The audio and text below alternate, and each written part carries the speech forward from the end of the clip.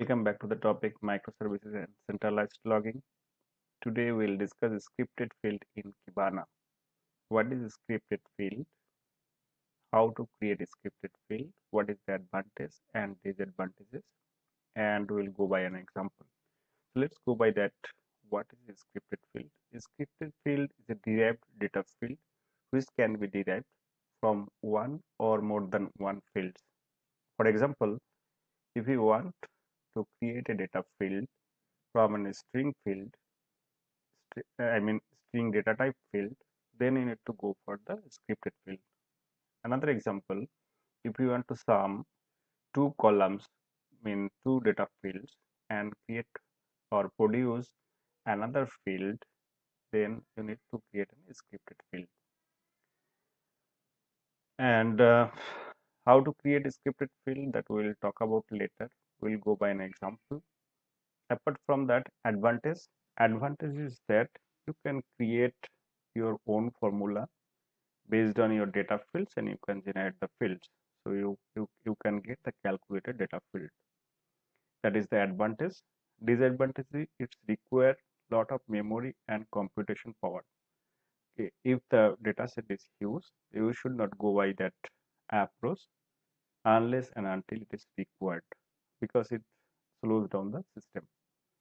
Let's go by this, uh, go by an example. Uh, open Kibana. So I have created already customer data and uh, one index is created. Let's go to that uh, data. If you uh, if you go to discover you will find lot of data here it's almost 700 records so out of that i just create a saved search uh, let's open it. It's a customer data sales report. And uh, there are some fields like yeah there the region sales representative sales order or sales date item units unit cost and total. If you see the total data uh, if I go that uh, data field if I go to management if I go to index pattern and open that uh, Kibana and uh, and uh, here if I go to total and total keywords that is string field so I cannot make the averages of that data so if I go again but there for the save search okay I have the sales report as a save search. I saw the total is coming as is showing it's like integer, but it's not integer. It's an uh, it's in a string. So I cannot make the averages on it uh, on that particular column. Okay. So then I need to create a derived field. So how to create the derived field? I will convert that particular field from uh, uh, from string to number.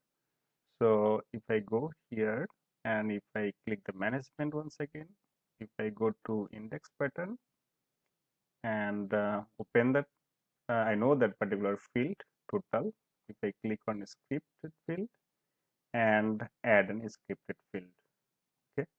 So what I need to do? So let's say total underscore number is the new name of that particular field and we are using painless script. It's more like java javascript like syntax. We are creating the numbers. By default or we can it's a number or you can choose the number from here and then you can de uh, define what is the precision you require? I mean after point how many digits you need to want? Uh, if you change it it will change automatically. Let's say four digits is, coming as four okay? After uh, point is coming as four. So it depends it's up to you. Now i'm going to write a painless script for that okay? So um if you see that how to access particular uh, particular field syntax is like that you you can get the help from here syntax other syntax you will get from here. So i'm just taking this one copy and uh, if i write if not that is my field is total dot keyword keyword dot empty i'm checking the empty. If it is not empty then I'm creating the value. So define a variable def val equal to document dot keyword dot val value. Now put in a try block try try catch block. Catch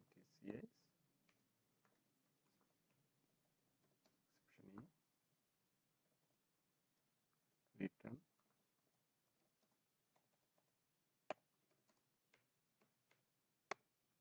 Or here I'm just return. Double u,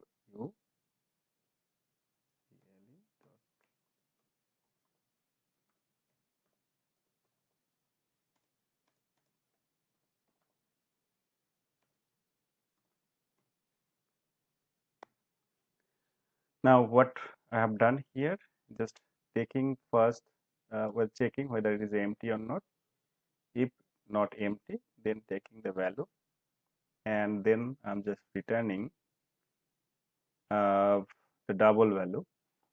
And otherwise if there is exception then I'm just returning uh, 0 uh, for the separate side okay? Now let's create the field. Yeah the script is invalid. The script view is detail okay. So it's a try uh, rn yeah it's, it's a mistake here. Return. Now the field is created. If you if you go here the index index uh, so you can get that scripted field is created. Now if I go here and um, if I go my uh, if I see the search results if you see that one particular field is there. So yeah, I'm adding here. Uh, is coming now. It's almost same. Okay it's looking like same but this is now is a numbered field. This is a string field. So save it. Save report. Now i'm creating a simple report. Go to visualize and create the average and um, if i say that creating the matrix taking sales report as a reference and now I want to create uh, the average average and which field I need to take? That is total sum. So this is the average price. Now I want to the average price price based on uh, split group based, based on the region so if I take that taking a term which term I should take I should take the region okay where is region yeah it's region so region wise average cell. Is that, that uh, there is central region that is the average cell is this. And now there is options you can play around that. There are some labels percentages or you can okay. you can change the size from here. Or if you need the advanced reporting you can do it. Now you can save the report. Let's say average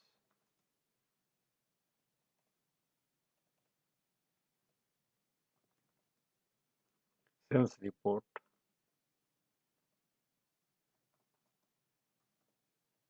Report per region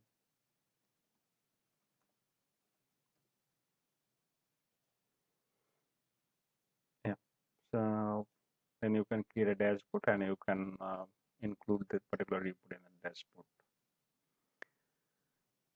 thank you this video is a part of video series based on the topic microservices and centralized logging. If you like this video, then please like, share and subscribe the channel. Thank you.